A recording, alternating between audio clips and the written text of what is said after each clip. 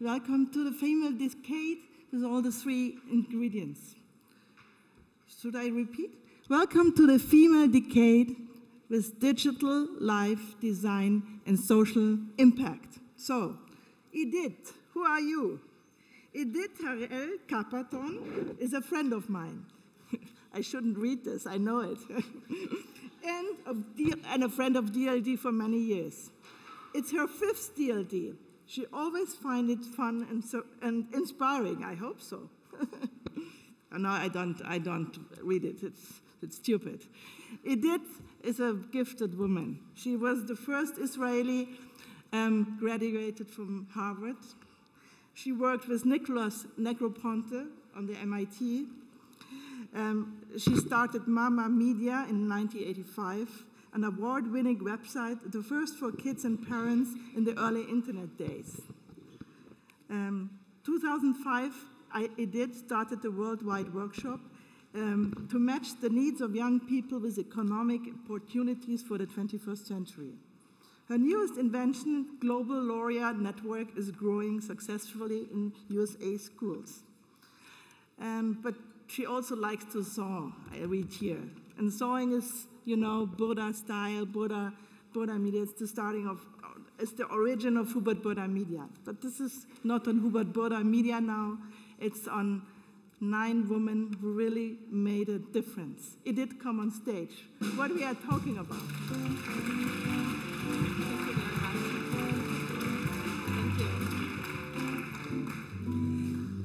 Thank you so much, Steffi and uh, Maria, and to all the DLD dedicated staff that made this amazing two days. Let's clap for them. I mean, we are the last ones, and uh, this incredible group of women, women that will come on the stage, we are promising you all nine of us, to make this last uh, 90 minutes the most exciting and energizing and inspiring for you to take home. So let me call them one by one.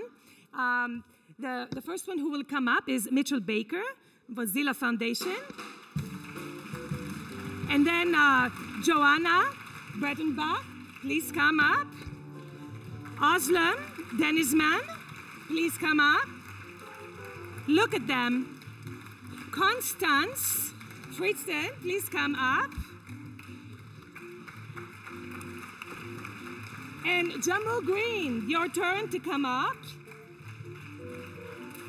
And Isabel Maxwell, please come up.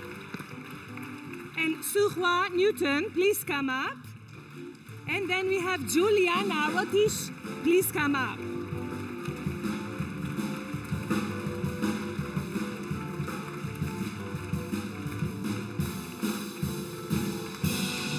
Now, voila, my, my mic up. Just look at that. It obviously is the most diverse and uh, the most entrepreneurial panel we had here since we started yesterday morning. And my first question to the panelists is what is this that makes you wake up every morning and work on your mission? These are all women with really big dreams. But the nice thing about these women is that they have a very big vision, but they also know how to execute. So let's start with Mitchell Baker. What is this that makes you up every morning and work so hard on the thing that you're working on? Well, the only thing that wakes me up in the morning is the alarm clock, but um, and the lure of some whipping cream in my coffee because I'm always tired. But but once I stumble out of bed and get started, uh, the thing that keeps me going each day is the promise of the internet. It's it's so clear how much value and how much social value and individual value and sort of the bright promise of the internet, and it's equally clear how big brother and dark and frightening the internet can be. And so it's that promise that, that drives us forward. Uh, the Mozilla Foundation is about, we're best known for Firefox, but we're about building a layer of the internet that's non commercial and that's built on respect for human dignity and individual empowerment. And so, yay, thank you. But, but, uh, but, but each of the missions here sort of, I, I think, warrants, warrants that response. So we do that through software. We recognize that advocacy and policy work is important, but we believe that what's unique about Mozilla is that through the software we produce, we can put in the hands of individual consumers a tool that both respects us individually but gives us option, options and choice and allows us to move beyond just raw consumption into creativity and influencing our own lives. That's great. So we're going to move in alphabetical order. Joana, betterplace.org. What is it that makes you wake up every morning and work so hard? Well, first of all, it is my children, which I have to get ready for school. Um, but then, from then on, I really am full of fire for my the company I co-founded, a, a startup based in Berlin, called BetterPlace.org. And I'm an anthropologist, and as an anthropologist, I know quite a bit about why development aid has failed in so many areas of life and in the world. And three years ago, or four years ago, I went on a trip with my family uh, around the world for five months.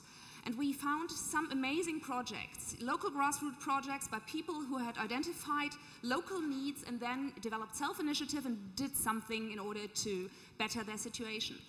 And when we came back uh, from this trip, we thought, God, you know, we really want to give a platform and we want to give exposure to these kind of grassroots projects all over the world, which can really make a difference. So we teamed up with some other, a group of other people who had very similar idea, and what we have been doing is a platform open to everybody, so everybody can post their project, be they an NGO or a local initiative or an individual, and can say, this is who I am, this is what I do, and this is exactly what I need in order to fulfill my project money, time, expertise, or donations in kind. And what we really are for and what we are fighting for is more transparency and more accountability in the social sector, especially in Germany, because the situation really is not very good. You know, and the, I think, I mean, I would follow Mitchell there. The internet can have such a huge impact in order to to really bring these very, very important values, transparency and accountability, forward. And my last thing would be what I really am really feel very passionate about is that the internet enables people to have a voice which so far haven't had a voice. And these are in our world of the NGO world, these are especially the beneficiaries, people who are really the end consumers of the services NGOs offer.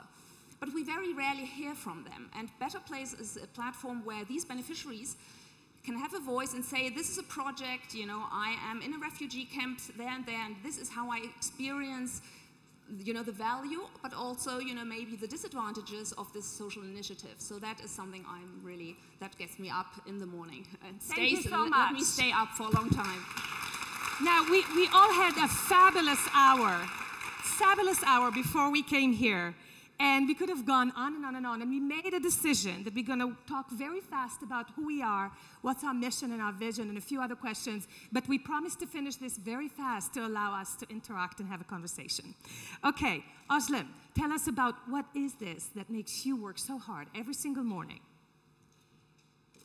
In a meeting in Italy, uh, Ambrosetti meeting, uh, Shimon Peres said, in order to solve the world's problems, we need to educate the mothers, the women. So that's what gets me up every morning thinking. Um, what uh, in Turkey, I'm from Turkey, we had the right to vote before Switzerland in 1935, women as women. And ever since then, some 9,000 uh, men came into the parliament, but only 236 women. And uh, in terms of uh, workforce, some 12% women are up uh, as CEOs, but only 26% are in the workforce of Turkey. And what I'm trying to do is to teach uh, mostly women and young uh, or youth about money management.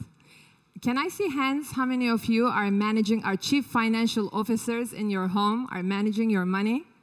They all left at five. Okay, that's great.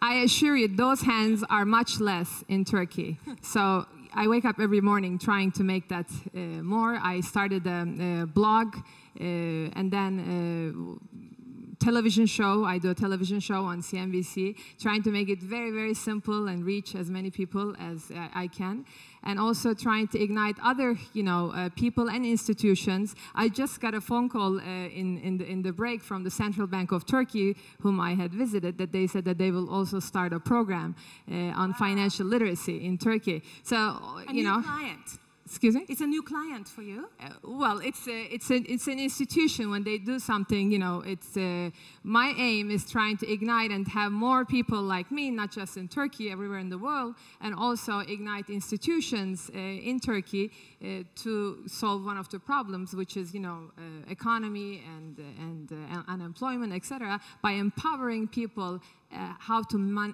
manage their money life better.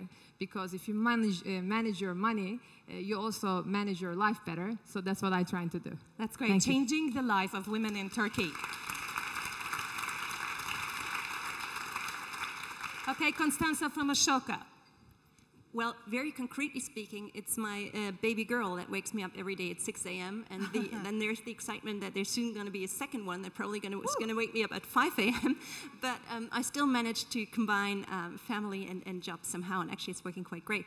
So, no, but um, professionally speaking, what I do is um, I have uh, launched, I founded Ashoka in Germany in 2003 and co-founded Ashoka in Western Europe. And so we set up the infrastructure for social entrepreneurs. So what I've been, you know, fortunate to do over the last years is really dig for talents, find those men and women in the civil sector who have uh, new groundbreaking ideas uh, to solve social problems and help them get better at what they do by leveraging them through financial support, through visibility, through networks. And um, this has been an incredible, rewarding time. And I've been also fortunate to work with entrepreneurs from everywhere in the world, from microcredit in Pakistan to um, social housing in Brazil to gender issues or immigration issues in Germany.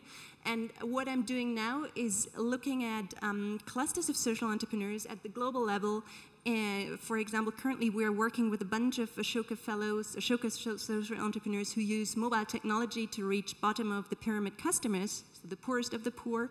And we are looking at what are the barriers that prevent them from scaling their projects and how can we remove those. And um, you know, it, it's really it's, it's, it's, it's not a job, it's really a profession. And, and the nice thing is that it's, it feels like, when I work, it feels like it's a playground and you can constantly create and make networks and new connections and see certain things and size on opportunities. And it's just a very, yeah, a very rewarding life. Feel the energy. All right. And Jehmu, what is this that makes you wake up everything in the morning with a smile like this? I recently moved to New York City, so I'm still getting used to such a large city. So actually, every morning I wake up and just want to see the city before all the masses of people are awake. And am just thrilled every single day to get to work at the Women's Media Center to amplify the voices of women in a media uh, infrastructure that uh, still, in a sense, leaves out half the population. And we do that through training and advocacy and publishing our own original content. Uh, my most favorite part of my day is working with our Progressive Women's Voices participants who go through an intensive training program with us and start writing op-eds and start getting booked as commentators on CNN and Fox and MSNBC and to see their progression as they build their media platform and through their words change the conversation in the media definitely gets me up every day. On the flip side, uh, because we do have to hold the media outlets accountable for their very sexist and biased coverage, uh, especially as it uh, relates to women candidates, I also have to get up every day knowing that there's going to be something said, something done in the media that we're going to have to push back and uh, show outrage and hold them accountable for misrepresenting women. And through training young women to find their media voice and holding media companies accountable, I am psyched to wake up every morning. All right. and a little secret about Jehmu, she does all that while she also sings. We just took a picture outside, and do you want to just uh, give us a taste of that? Sing your name. Sing my name? Yeah, improvise. That's what we do best, right? Oh, I gladly walk across the desert with no shoes upon my feet to share with you the last bite of bread I had to eat. That's a taste of the Judds. I'm a country music singer.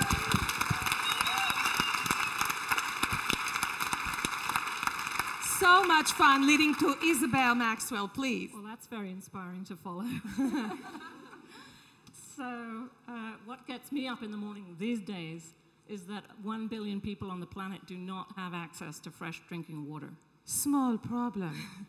And uh, really, I've come to this from a, a, decade and a half of working. I had a first life in uh, uh, documentary film and feature film production in the UK and the US, in California, and then a second life in high tech. I founded a, one of the, the earliest search engines on the web, and then I ran an Israeli email and messaging company, and I've done a lot of uh, effort in peace building and also in philanthropy that I do to this day in Israel, Palestine, and the Middle East. And as I looked at this from that vantage point, I looked at the really huge global threats that affect us all in the world today. And they are climate change, water shortage, nuclear proliferation, medical pandemics, and Middle East peace. And what I thought really, what was a commonality that all of them had that I might perhaps really try to work on to move the needle? And the truth is that we are living with nuclear proliferation, and we are living through pandemics, and we are living with climate change. But one thing none of us can live without is water. We will die if we do not have access to water. And by 2025, if we haven't done something about it, 66% of all of us will be living with water shortage. So my mission is actually some, to build an environmentally and economically sound solution to delivering water. And we are building a fleet of ships that actually will deliver something. It's not new desalination. This is desalination on ships. They all got 1% as the cruiser they go around. But this is to have ships that are 99% desalination and 1% for everything else. So that in one fell swoop, each ship can actually deliver 40, 40 million cubic meters of water every single day. That's 150,000 liters of, of water every day to regions and cities and countries in need of water. So this is a, a, very important thing that can actually deliver water at scale. And the other critical thing about it is that you can, in some instances, you can actually start taking water off the table as a conflict item. Imagine if we'd had these ships now, we would have had a ship off, off Gaza, you could have had a ship at Haiti, and so on in Africa, and the list goes on. So that is really what wakes me up every single day, and uh, we're very excited to be on it. I, I can't, I, if you ask me offline, I could go on at, at length about it, but I'm very honored to be working on this mission and to share it with you today. Okay, thank you.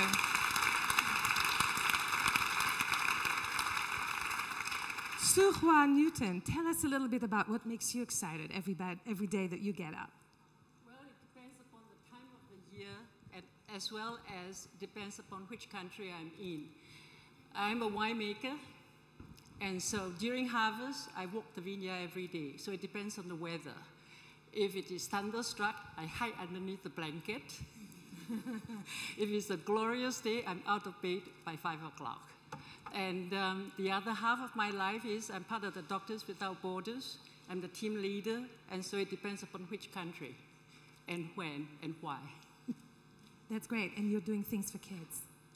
Well, I think very, I believe very strongly uh, while I was a professor at the medical school is the fact that you have to give with your heart. And that's all what life is about. I have received a lot. I have to turn around and give. And I say to my students, I'm giving you guys far more than just basic information. Turn around when your time comes and give and thus together we create a better tomorrow. I'm part of the Louis Vuitton Moet Hennessy structure and the profit from the wine that I sell, very expensive wine. After the session. No. Go towards the program for kids at risk, and I have 49 kids who work with me to create a better tomorrow. Thank you so much.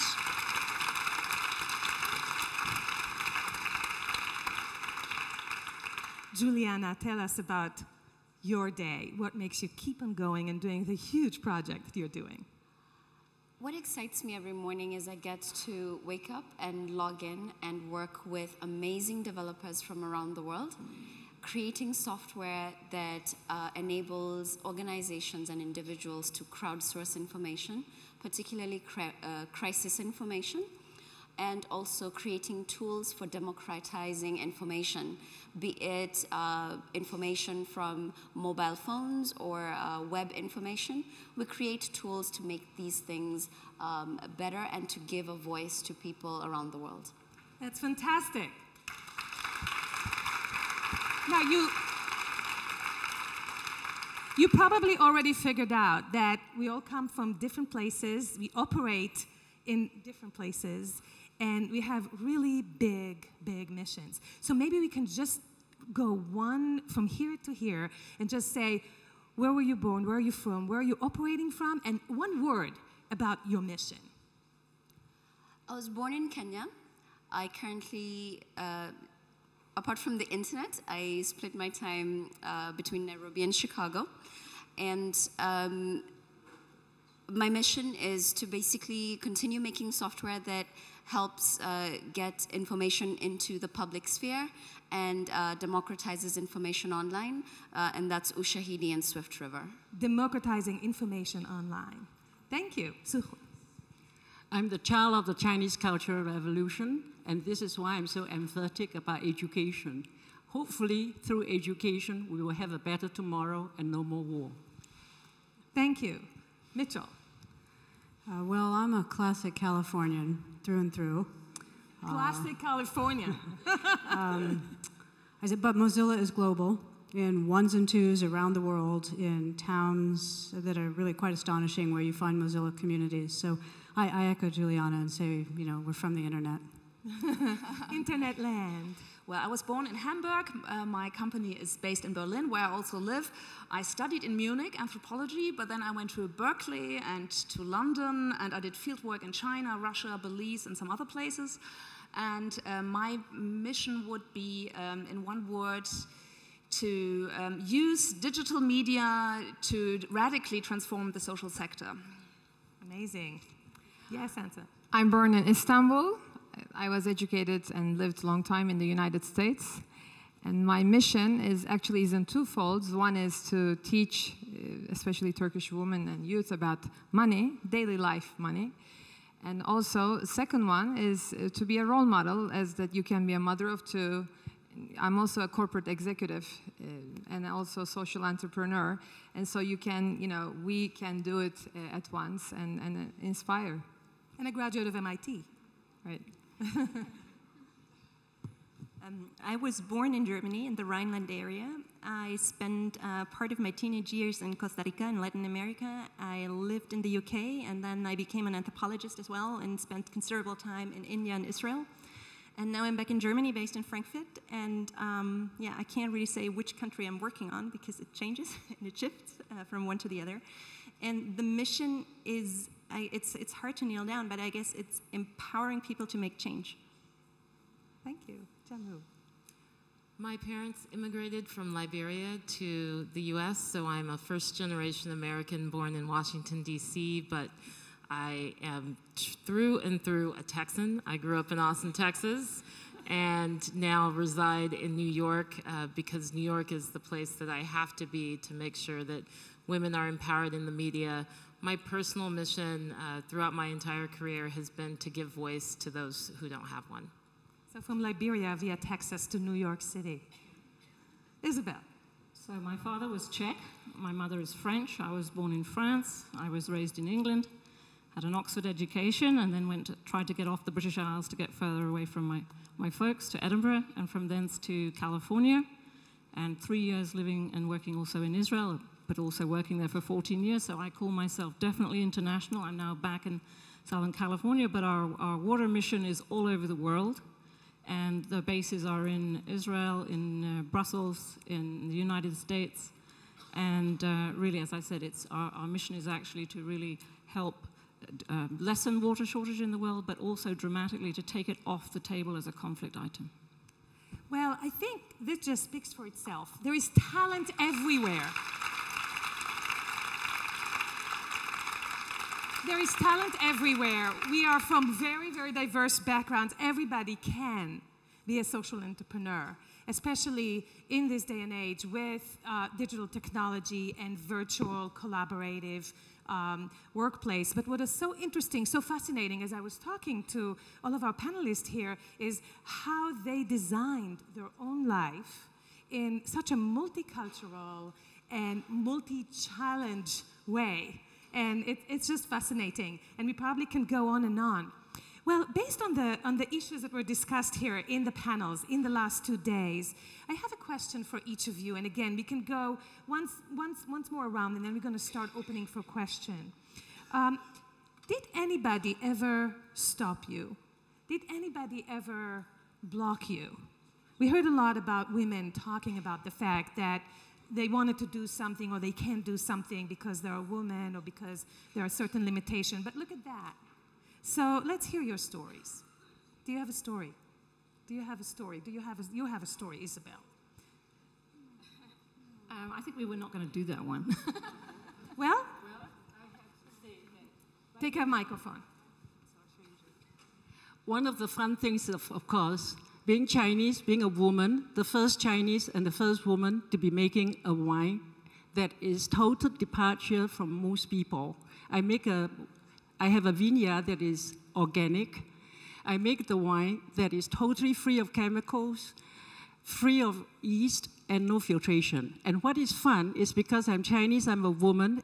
Wherever I've gone to make the promotion for my product, is like today, I walk into the restaurant and the guy, I do not know who he is, he immediately say, hello, Dr. Newton. and being Chinese, being a woman is a huge advantage. so, so that's a great story. Mitchell, we talked earlier about the fact that there are certain things every day that you need to, to overcome. You know, some, some things about your daily life that you kind of are, you know, we all look so happy and fulfilled. And, you know, there is always, we, all of us women, when we are social entrepreneurs and we run all these uh, big projects, uh, people think everything is easy. You know, it just works, they just know what they're doing. But it's not always the case. Well, this, this might tie a little into your last question, too. I, I don't think anybody has overtly tried to stop me because nobody's really known what I've been trying to do. Ah, good trick. And uh, now that, that Mozilla and Firefox have achieved some success, you know, it, it's clearer and we have more opportunity to describe what we're doing. But, but in the early days, you know, we were, we were really silly and childish. And so to your current question, uh, the thing that, that is difficult each day is, you know, we're heading into the unknown. And we have these giant missions, all of us, and, and I think many of us, no one's done it before. There's no clear path. The model of how you build a business or how you do X or how you build a financial institution doesn't really apply. Many of us are nonprofits. I know Ushahidi is, we are. And so we live in the market, but we're a nonprofit organization. So what does that mean? Uh, and so it's heading off into the unknown, having enough confidence that it doesn't matter, that none of the titans of industry understand what I'm trying to do. You know, it's worth trying to do anyway. And then just making up every day, well, how am I going to try and do it today? Uh, maybe it's wrong. Maybe what I try today doesn't work, but I need to try something and, you know, need to figure it out and, and plunge ahead because there's no known path no known path, change leaders have to really invent their day and invent their solutions as they go along. Joana, do you want to add something to this? Well, when you asked about what is stopping me, I mean, I'm sometimes more afraid that no, but not, nothing is stopping me. And I, you know, I, I'm really grateful sometimes to my children, my husband, my friends who say, listen, you know, I mean, do we see something else of you? Can we talk about something else but better place? And so that is something, you know, I mean, I do find a challenge to, to I love what I'm doing, I really do. And, but it gets so overwhelming, and I mean that I sometimes do lose track of other things which are also really important in my life, and you know that's I think a challenge for me. Thank you. Yes.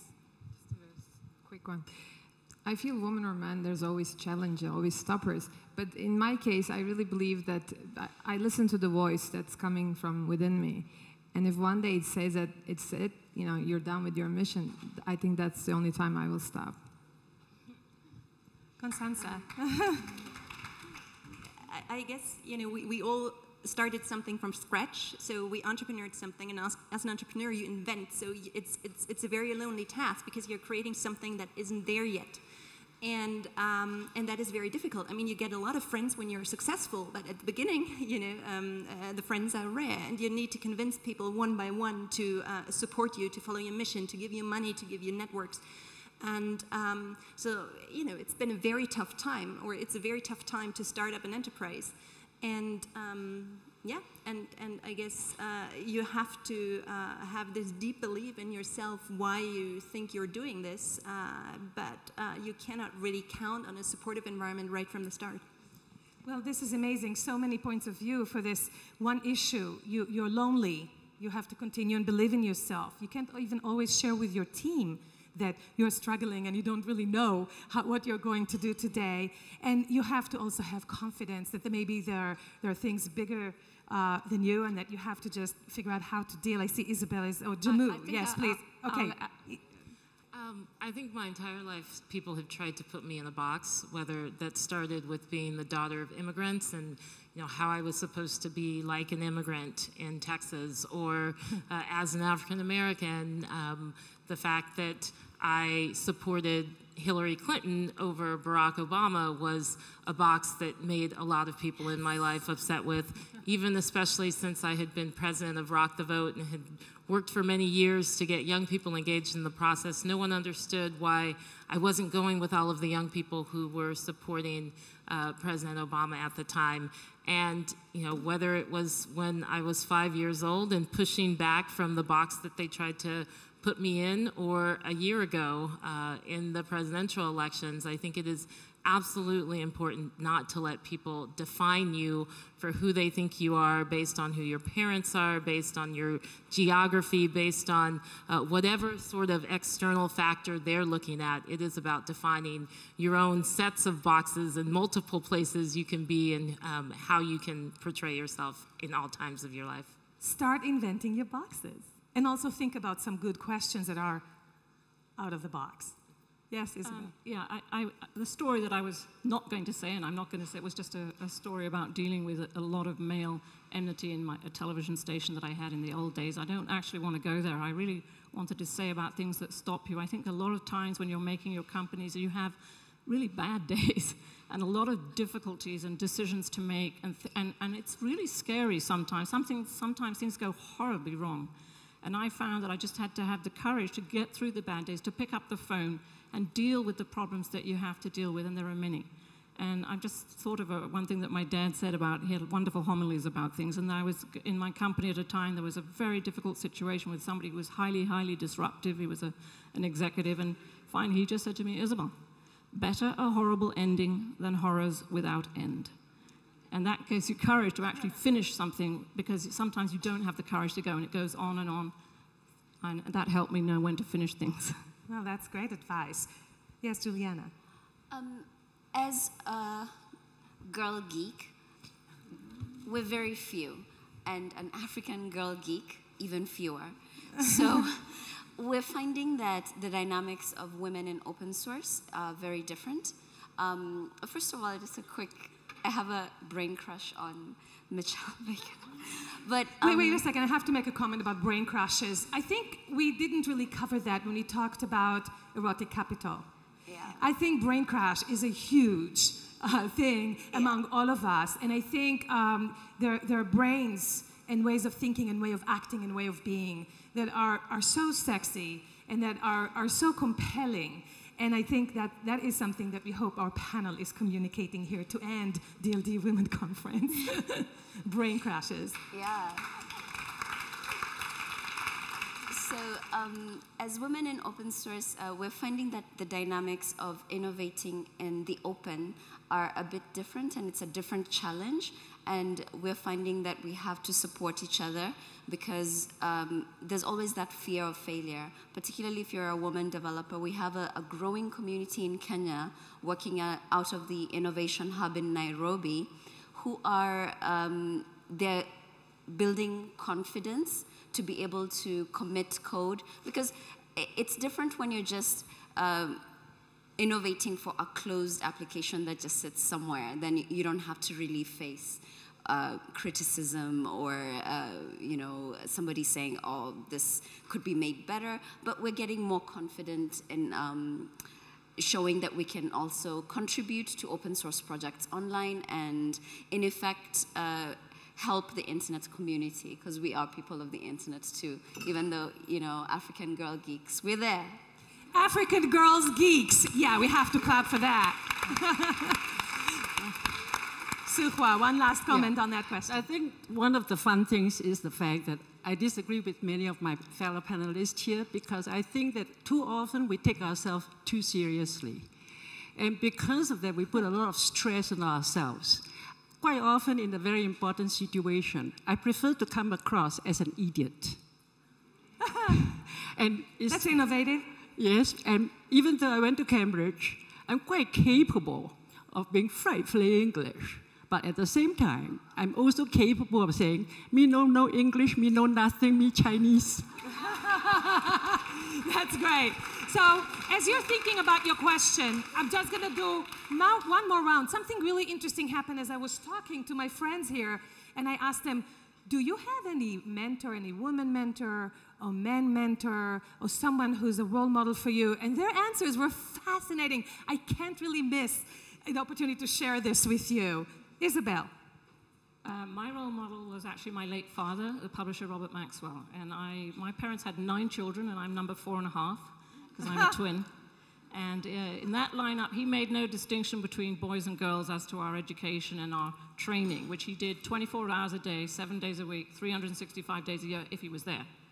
And because he traveled immensely. But we had, uh, because of what he did, we had in, every weekend, we had every single kind of person from politics, from kings and queens and Nobel laureates and astronauts and goodness knows what that came through the house every, on almost every weekend that I can remember. And we as kids had to come and we, our job was to entertain everybody and anybody. And he was also a Labour Member of Parliament, so we had constituents that would come through. So it was very important training that whether you were uh, a Nobel laureate or a dustbin person, you had something to learn from him. And so it was our job to do just that and we, to entertain them and find out what they needed, whether they were a Chinese or Russian or whatever their language. And that was a, a, huge, a huge and important training. And the other big one that he taught us, and I feel very lucky for that, was the, the uh, ability to ask for something that you needed and to reach for the sky and to reach for first, because if you reach for fourth, you just get fifth.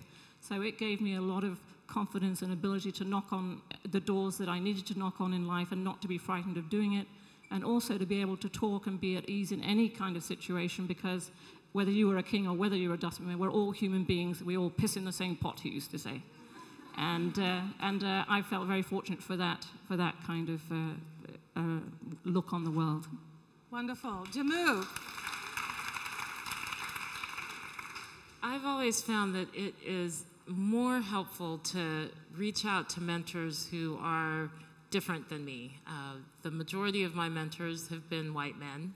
Uh, when I did a panel like this at Harvard one year with Roger Ailes, who was the president of Fox News, I reached out and said, uh, you know, can you help me? Can you mentor me? Um, even though I disagree with him on every single political issue there is, um, I have gotten tremendous uh, media help uh, from him.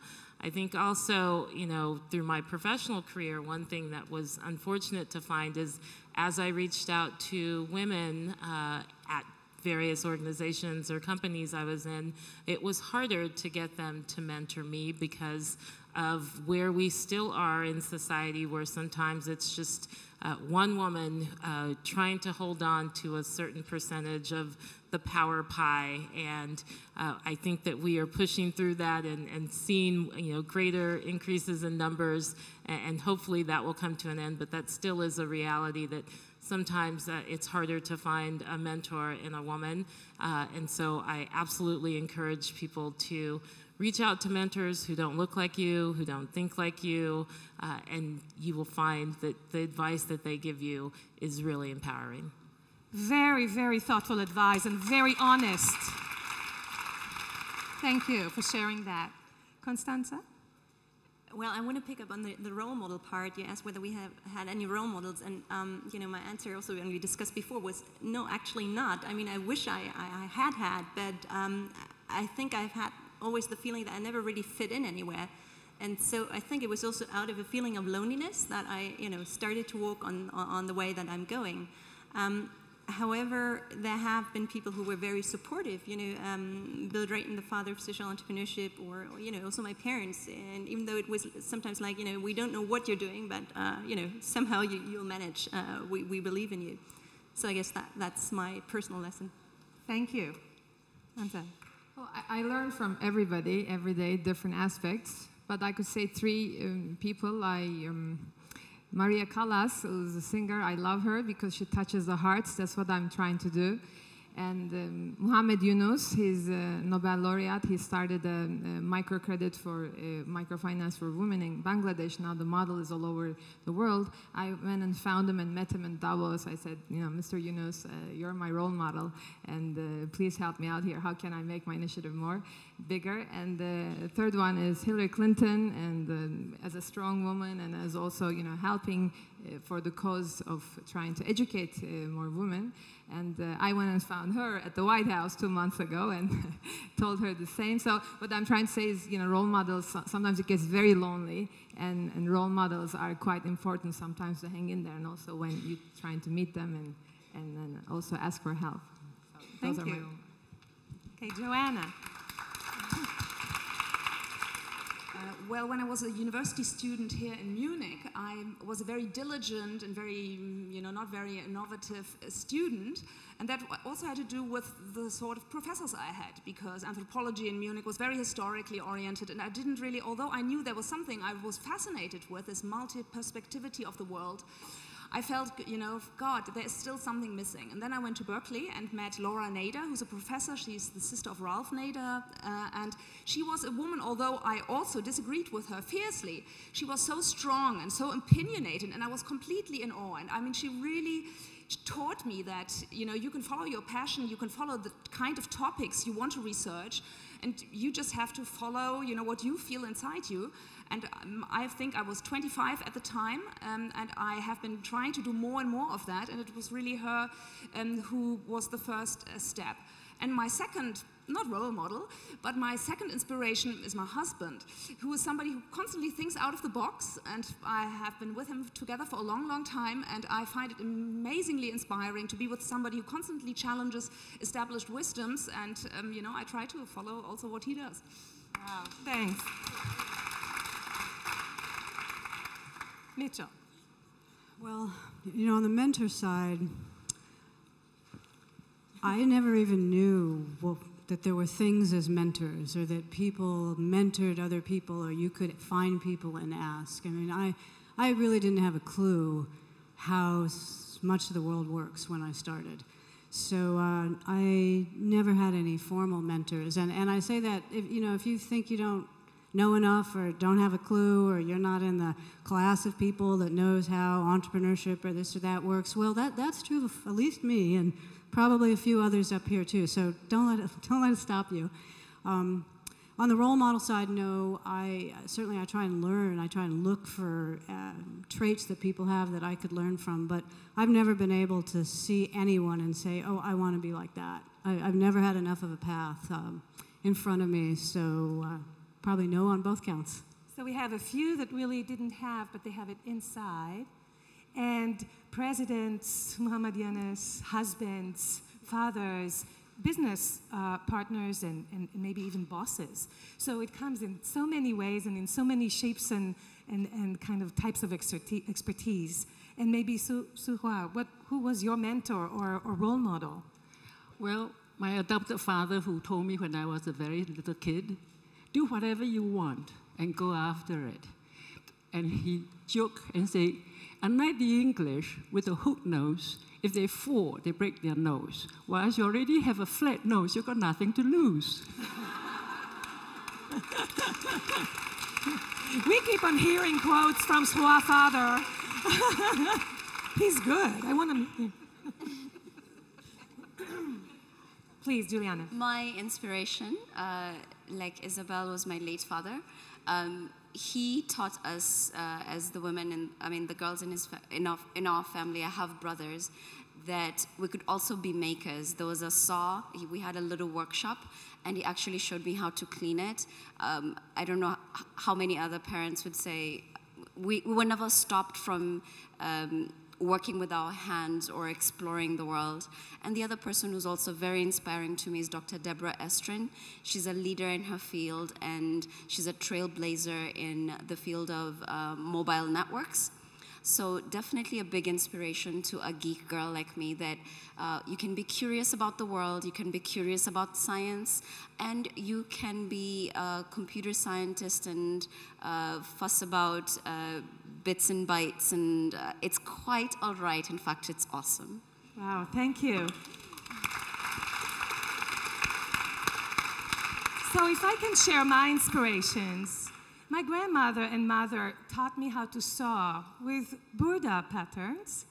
And that was a really powerful experience because we were poor, we didn't have money to buy dresses, but fabrics that can encourage my creativity and productivity, that was always a yes. So that also led to entrepreneurship because I ended up uh, sewing and selling dresses to all my friends in high school and their mothers with Burda patterns. So that's kind of an interesting connection. Um, and that was my first relationship with technology that led me to another uh, big mentor, which is Seymour Papert at MIT, that taught me that the best way to learn is to do, is to act, is to make stuff. And lastly, and that's a lead to our next phase of this panel, my father, since I was three, used to come every day home from work and he will tell me, Do you have a really hard question for me? Just think about that. From age three, I had to think really hard every day, you know, to kind of come up with a good, hard question. Now, do you have one for us?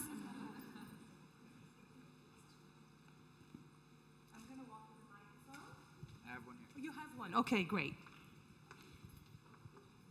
Um, first, I have to say this is incredibly inspiring, and I have like I think this multiple girl crush on everyone here. It's just in love. Um, and um, for me, what made you go through this path with which is so not egocentric? Because I'm an entrepreneur, but I'm not doing something which really benefits. I mean, it can benefit, but it's not like it's not social entrepreneurship. And it's I would like to hear what made you choose that path, which is so uh, just not egocentric. And and I think getting up in the morning for something like this is so much more difficult than for something that you know I don't know might exit in ten years or so. Okay, who wants to? Jehmu, please. I actually uh, went to vote for the first time when I was 18 years old in Austin, Texas, and I was going to vote for Ann Richards, who was the current governor and uh, just an amazing woman fighting for social justice. And I walked up to the polling booth and was told that my name was not on the list and I could not vote. Um, even though I had registered to vote, I had filled out everything, I had sent in the form, I was turned away, and I, in that moment, was disenfranchised. And also in that moment, I realized that there was nothing that was going to stop me from working every single day to make sure that that same situation didn't happen to another young person, that someone who wanted to participate in the political process was going to be blocked. And so I think, you know, a, a big part of my path has been when I was stopped as an individual, and that inspired me to make sure that other people didn't have to go through that same situation. Wow. Let's see if we have another question, and then maybe other people can reflect on the same thing. Yes, do we have? Orly.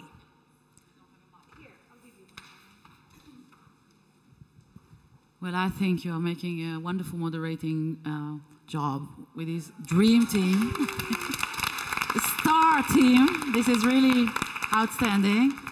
But something that I want to know, I really want to know what makes you wake up in the morning. What is your vision? Can we learn a little bit about yours?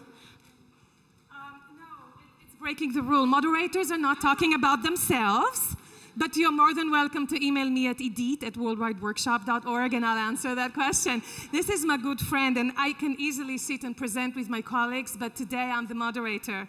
And uh, it's about being non egocentric. And I, I will, I'm, I'm an education uh, innovator with technology, and I can tell you personally about what I do too. Yes, did we have another question in the back?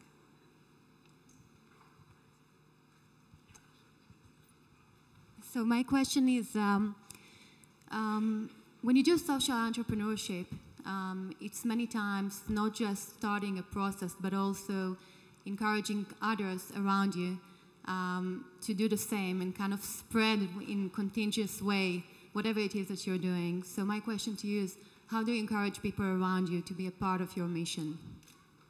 Who wants to take that one? How do you encourage other people? Do you want to take that? Joana? Sure thing. Juliana. Um, it helps to have a, a clear mission uh, of what it is you'd like to do. We were very fortunate that um, Ushahidi, first of all, it was born out of a crisis. Um, in, in Kenya, we had post election violence, and I think the way we began was we were trying to answer the question how can I help? What, is, what, what of value can you do personally to assist? At that time, we were seeing um, incident reports from uh, regular people that was not ending up in mainstream news. So we wanted to use the internet to bring all these voices together and to present it in a way that makes it powerful. So I think first, sort of try to answer that question how can I help? Because more often than not, you will also connect with others who are trying to answer that same question. And I think that will make you connect on a very deep level that will then propel you to collaborate and work together for a common goal. So that's almost like an answer that is combining both questions. Anybody else want to take this one or the previous one that we got? This one About how, how, not, how, how come we are not selfish and thinking about others and also, yeah. Well, Which one do you want to yeah, answer? You wanted to answer that one. I wanted to answer. Can I follow on and then you go? Yes. Yeah. Okay. So Mitchell will follow on on this, and then you can take the first question. Let's go. So I'm going to follow on Juliana's because having, at least our experience, has been having a mission is important that people care about. Right. Uh, there is a point, at least we found, where real leadership was required. Not just coordination, not just a group of people working together, but someone making decisions and leading and being inspirational and figuring out how to articulate the message and how to articulate it to new people and how to chart really difficult decisions when you're trying to do some blend of things people haven't done before. And that's a very different level. Like, I never wanted to be a leader. I always wanted to be anonymous. That was my goal, behind the scenes in life. Here I am, yes, right. Uh, but it turned out that Mozilla needed a leader. And so there is the mission, and some projects succeed quite well in a general collaborative, consensus based, group decides. So, so you got to figure out which of those, if you're in one of those or not. But if you're in one that where you know we really benefit from leadership, then someone has to actually step up, and, th- and then you get into all these issues of loneliness and making mistakes, and and and just making decisions people are going to hate you for and tell you how ugly and dumb you are. I mean, then you get into all of that. But but if you have the right group and the sense of what you're doing, then just on you go. Joana, do you want to follow that? Well, I, I, just wanted to follow your question about the egolessness because I think we are not at all egoless. I mean, I certainly, you know, the people I know who work in this field, we have really rather strong egos. But I think, you know, when, when I think, wh- why would I get up in the morning? I mean, I think it's so much more motivating to solve a social problem than, you know, to make more money or to be, you know, more in the media or whatever. And I mean, I love Muhammad Yunus, who says, you know, when I see, you know, when I see a social problem, I create a company to solve it. And I think that's a path, you know, which more and more our people are following. And I find, I mean, I get so much ego, you know, nourishment because I meet the most amazing people. You know, we are, I mean, we are really, you know, you meet so many inspiring people who give you much more back than you give them. And so, you know, it's, it's, there is the ego definitely in there. And just, just adding on that point, I think we are in fact actually all being very selfish because we're doing exactly what we want. Aha, uh-huh. I, I want to stop just to see if there is another question. And if not, there is one burning question, okay? Maybe, until you get the microphone. Isabel? Sure. Um, I think the word might be healthy ego. We have healthy egos. um, I, I, just want to say something about drivers, actually, because the word quickly came up here. Many people's money is drive, is, uh, driver is money or power or could be religion or whatever. My personal driver is, and it came from, from my from growing up, was is communication because I do think that gigantic amount of ills in the world are due to lack of communication, poor communication, which leads to ignorance and fear. And actually, that really was my prime driver, and I apply that wherever I am, whether I was in high tech or film, or water business or anything. It, it, that's my continual driver. Thank you. We'll take another question. Yes, please. Thank you. Can you say who you are? Sorry, does this work? Yeah, it will work if you start talking. Okay. It's magic. Okay, excellent. Okay, my, my name is Mila. Um, I work in development. And actually, um, we've heard the, the word social entrepreneurship quite a bit now. I'm not sure we have a common understanding of it.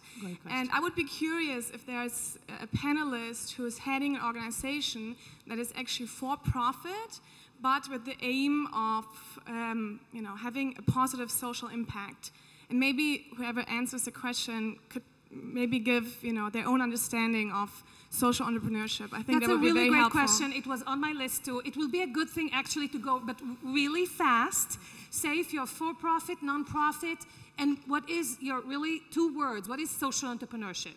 Okay. I actually have run social entrepreneur program in Israel. We have 18 social entrepreneurs on the ground. Two And words. A social entrepreneur is an entrepreneur whose basic mission is not just to make money, but to basically help systemic social problems get better. That's the definition of a social entrepreneur. And to answer your specific question about social enterprises, it's a mixture. Some that we have, it's, they're all for non-profit, but they do within it have services that they make money on. Isabel's water project is for profit, but it's for social good. Okay, Jehmu. Both. Yeah. I actually, the Women's Media Center is a nonprofit organization. Rock the Vote is a nonprofit organization. And most of my professional life has been in working with nonprofits. But I think within nonprofits, you can be entrepreneurial. At Rock the Vote, one of uh, the best successes I think I had was when we developed an online voter registration tool to allow young people to register to vote over the internet. And then we realized that there were so many organizations who needed that, and so we gave it away for free. Okay.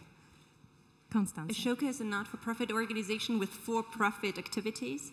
And um, the definition of social, the word social entrepreneur was actually created by the founder of Ashoka, by Bill Drayton, and um, he used it to uh, describe um, an entrepreneurial person who solves a social problem. And so, how he or she does it is really of no relevance. You know, the, the point is that the goal is an entirely social one, and so. Um, shifting the focus from the traditional entrepreneur to the social side, you know, most of the social entrepreneurs are in, in, in, in the, or many are in the not-for-profit field because they're dealing with in areas where it's hard to, you know, set up a cash flow, flow system, for example, you know, human rights or education. Whereas in other fields such as healthcare, technology, environment, you know, it's much easier. So you actually get a whole spectrum from purely not-for-profit to hybrid models to, to for-profit models. So I think we, it comes in all flavors, and there are nonprofits that are actually generating profits and investing in the program. And uh, I think there are also a bit, a bit different ways of financing it, and that's also legal issues and other things that relates to who are you raising money from, and that will determine sometimes also the, the structure of the business. Just to add to this, Just yeah. To add to this, I'm not a company. I'm a co- sort of an initiative within a company. So I came up with an idea and went to my chairman, presented it. I said, "Let- I, I'm going to do this. And he said, okay, stay here and take a day and a half of your you know, work week, and uh, you, know, you keep do- doing your job. So it became the company's initiative. It became the company's project. So it's another model. Great. Is there any other model that you would like to talk about? Yes, because we are all doctors. We form um, Doctors Without Borders, Médecins Sans Frontières. And whenever there's a crisis, we all go out, and each and every one of us gives whatever we could afford to buy medication. And we all live in homeless tents, like you see in Paris in winter months. So it doesn't need to be an organization at all. It just needs a group of people with a heart and soul that is willing to give. That's all. You want to add one dimension? Okay. Something we didn't say already. Okay. no, I just, I mean, we are non-profit, uh, but we do have a business unit um, which advises companies. So we do make money advising companies how to structure their CSR, their corporate social responsibility, and how to use the internet for that. But we've, all of the profits go back into the financing of our operations. So, and we found it very good that we have a real separation between, you know, the profit and the uh, non-profit areas of our work. So let's take one more question. Creating business models for this type of work in the world is very sophisticated and really challenging. Yes, please. Hi, I'm Eleanor. Um, being well, thanks so much. yes, thanks so much again. So I won a, um, a laptop. You guys for being on the last panel, which really made me happy. Um, you won a wish um, with God. So what would be your desperate wish for God to fulfill? Do you want to start, Juliana? Your wish? that African uh, women, or actually women around the world, can grow up with opportunities uh, that some of us were very lucky to have good education and a chance to pursue their dream and to reach for the stars. Um, that you can be anything you want. You can be an astronaut, you can be you, you, can be a microbiologist. You can you can even be a farmer if you want but that that you have the option and the opportunity to pursue that. I think that's a really big big wish. big huge wish for you. Number two Su Hua what's your wish? That we can get rid of a lot of diseases that we all are facing as a doctor now. Wonderful mitchell. If you have one i know you have a few. I heard some um, well, if I were talking to God, it'd be Dear God. um, you know, the human species is so amazingly malleable, and we're capable of such astonishing acts of wonder, and at the same time, such unbelievable brutality and just uh, unspeakable horrors. And so, my wish would be that we could remediate that end of the spectrum a little bit and move a little closer toward godliness. Beautiful. Amen. well, I would follow up on Juliana and say that I would wish that more and more people have the opportunity to choose the kind of lives they would like to lead. Beautiful. What a great question you brought to us. Dear God, we are all created equal. We have heart, let us use it more. Amen. Actually, I wanted to say more or less what Joana was saying, but now I can add another point that would be a transparency, so that actually the good ideas and the good approaches that exist in the world are actually heard and seen and copied, and not um, you know being overlooked because those who have created them are not powerful or you know do not fit uh, the, the mainstream stereotype. And the, the, next wish, I have two wishes with God, would be a huge endowment. So I would have oh, constantly. Oh, that we share. Let's hold hands for huge endowments. I would have enough money to put all my ideas into practice, and I wouldn't have to go fundraising anymore. Oh, thank you. I chant every morning, and one thing I've realized is that every single day the universe actually does give me the wish um, that I'm looking for. Uh, whether it is the opportunity to work with one mentor I didn't mention, Gloria Steinem, on a daily basis uh, to empower women, uh, whether it is to, uh, you know, uh, find that voice in uh, an individual who comes through our training program. I think it is really about looking at your life every single day and seeing how our wishes are being delivered to us and uh, being open to accepting them and then amplifying them. Beautiful, thank you. Wow. And uh, I'm actually not persuaded there is a God because when I look at all the rubbish in the world, sorry, I am going to make a wish, however. and uh, actually, I'm my gonna, God is listening.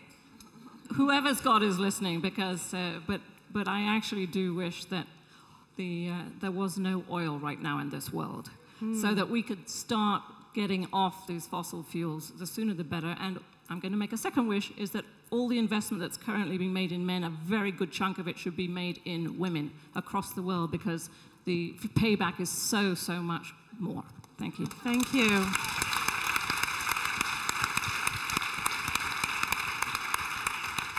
My wish is that we all meet again next year and that the DLD team uh, will decide that this was a really great business for them and they will bring us together again.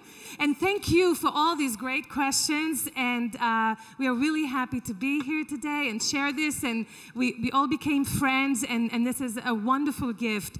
Thank you, Steffi, and thank you, Maria.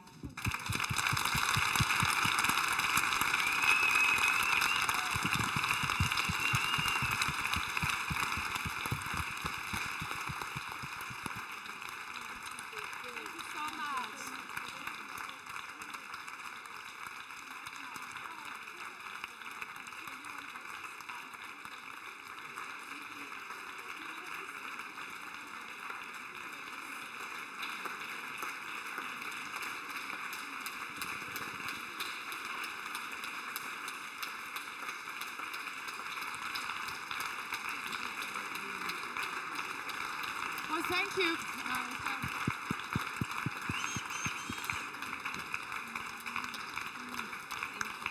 Um, yeah, now it is. Thank you, everybody. Thank you for this wonderful panel, for this really admirable women. I'm so, so glad you were here, and I'm so happy that we could do this together. I'm so happy that Steffi challenged me to do this chairwoman's job. Thank you so much. Uh, I think we all learned a lot. And just one thing to sum up the whole business. Caroline from the Women's Forum, you know, they're doing this like since six years, and she's, she's very used to all these women topics. She said, you know, that was beautiful and wonderful, but you know, we know in France, I mean, diversity is the only way and is the best way, and period. We don't have to talk about, you know, women are like this and they're fantastic, and, you know, period. We just, and I told her, you know, in Germany, we're somehow, um, funny enough, we're really good in many things, but what is diversity concerned in Germany, we're a developing country. And that's why this conference is definitely important. I'm more convinced than ever we have to do something about it. Thank you. Thank you for being here. But please, you, you, you all know, you wonderful entrepreneurship friends, you all know that um, what you achieve is not possible without a team.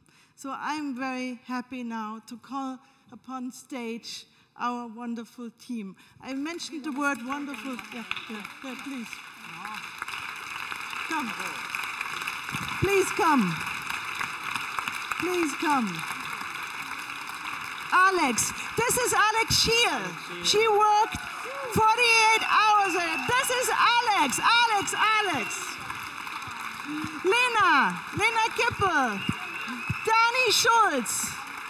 Marie-Sophie Bibra. Sabine, Sabine, Sabine. She has her birthday day. It's her birthday.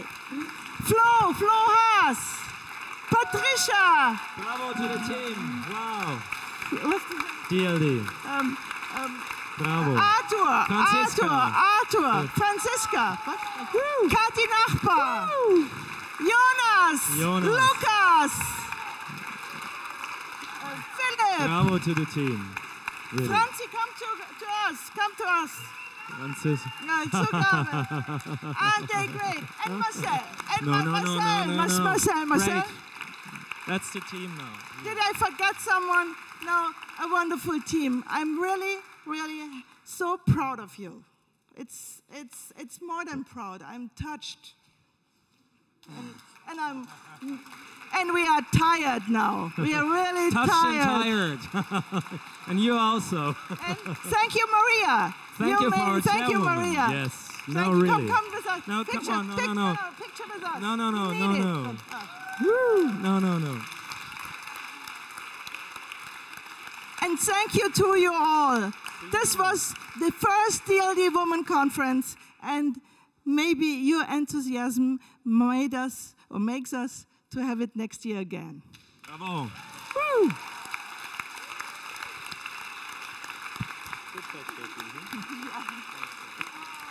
And